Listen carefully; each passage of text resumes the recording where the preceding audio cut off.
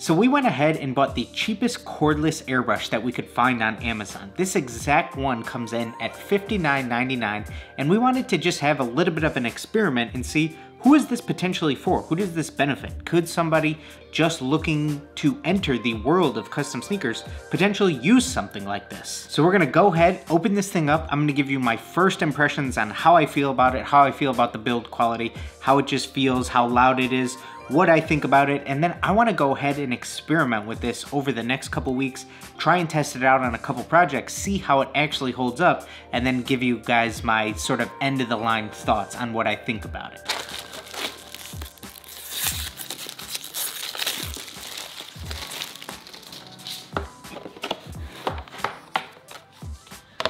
All right, so on the inside, very simple. We have our USB charging cable, our airbrush, our little wrench in order probably to tighten some of the pieces up.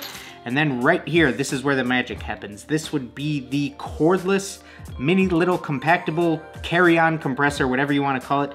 Really excited to go ahead, put this thing together and see how it works. Okay, so straight out of the box, initial feel, typical gravity feed airbrush, feels and looks just like a lot of the other ones that I've used in the past. I think that just getting used to actually having this underneath and holding it and where to sort of wrap your hands and that ergonomics around this would take a little bit of getting used to. All right, now let's go ahead, turn it on.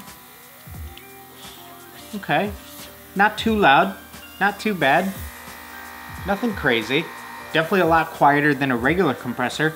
It does have a continuous airflow coming directly out. Nothing is loose. I haven't really uh, loosened anything up, so I'm not sure if there is a way to kick that off to not have it spewing out air, but that's not bad as long as it's not spraying out any of the paint or water inside as soon as you turn it on.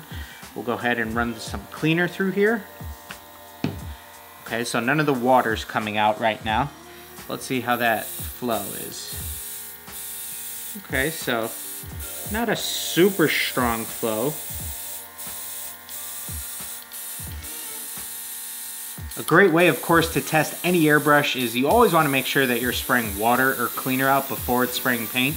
And you want to make sure that that's spraying really well because if you're not spraying water or cleaner, you're definitely not going to be able to spray any paint through there. So according to the manual and some of the reviews, it looks like you get somewhere around 30 minutes to an hour of runtime before you need to charge the compressor again, and then it takes somewhere around one to two hours to get a full charge and use it. So not too bad depending on, of course, the project that you're trying to work on. Other than that, the only other little thing to mention is there is this little adjustment screw here at the back, and what this is supposed to control is the amount of paint flow that's coming out of your airbrush. I went ahead and tested it with some cleaner, and even at the loosest setting, compared to the tightest setting. It really didn't make that much of a difference when it came to the actual paint flow. But now I'm ready to go ahead, throw some paint in here and see how it holds up to actually painting on some shoes. So for my performance test, really the ultimate goal was just to see what it was like trying to lay down a gradient on this pair of shoes, along with doing some of our simple techniques like our middle bar technique, refading in the colors over on top of that middle bar, and then testing out some stencils on top of it, just to see how it all goes together. And some of my initial observations were that the paint flow was definitely, definitely less strong than I'm used to with my typical setup. And I actually made sure to thin out my paint even further than usual because I was definitely worried about this airbrush being able to handle the typical airbrush paint that I'm using. So it seemingly just gave me a lot of trouble with trying to get a perfectly steady paint flow. The paint was definitely coming out incredibly slow, no matter how far I was pulling down on the trigger, no matter how much pressure I was trying to apply. I wasn't able to get that nice steady flow to really end up with some clean, even coverage. After laying down the teal when I was ready to move into the black color, I decided to thin that out even further to see if that would help, but it really didn't help that much more. And I do think that ultimately you could end up at a point where you do add too much too thin to where you are going to hurt the integrity of the paint. So you don't want to just continue to add that in to sort of solve this problem. After both of my colors were laid down and I was ready to move into our middle bar technique, I was able to mix the colors together in the airbrush. Of course, that's a given that you're able to do the backflow technique, mix the colors together and have a nice clean ratio to where I could then do this middle bar and try to fade the colors on top of this. But it was really hard to, again, just have a steady paint flow and lay down a clean middle bar. Once I added the original colors back into the gun and was ready to fade those on top of the middle bar, ultimately because so little paint was coming out, it did make the job of doing the fade not too bad. I do think that ultimately I was able to lay down a somewhat okay fade even though I didn't have that steady of a paint flow. The next test that I wanted to try was just to see how this airbrush would work with spraying through some stencils.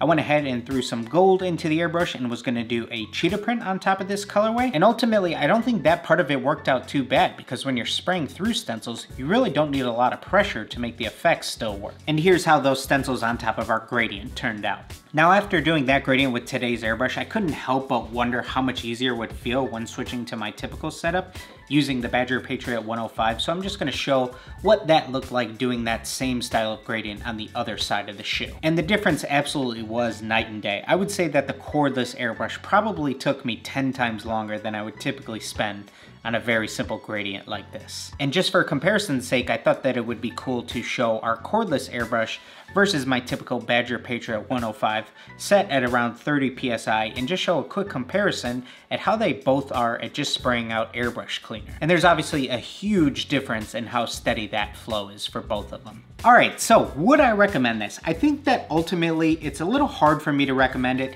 sort of at that $50 price point, knowing where you can get to if you're willing to spend maybe another 100 or so.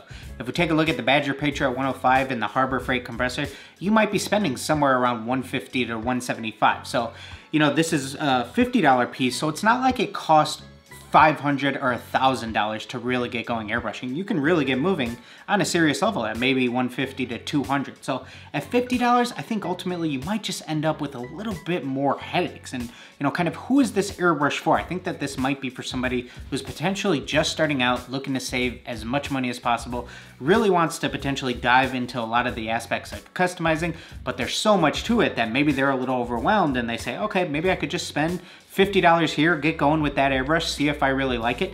Maybe I'm a little afraid of buying a ventilation system, you know, an airbrush booth. Maybe I'm afraid of the noise of a compressor. I don't want to disturb other people in my household. And so for anybody just starting out, I can totally see why you might justify a purchase like this. But ultimately, I think that it is something that could just lead to kind of ending up on the shelves where it just gives you a lot of headaches because you can't do what you're trying to do because maybe it's not the best tool for the job. So if by chance you are still interested in checking out this airbrush getup for yourself, we will have that link down below. Thank you guys so much for watching today's video. Please be sure to go ahead, and leave a like if you haven't already. Make sure you're subscribed, and everybody get out there and just create.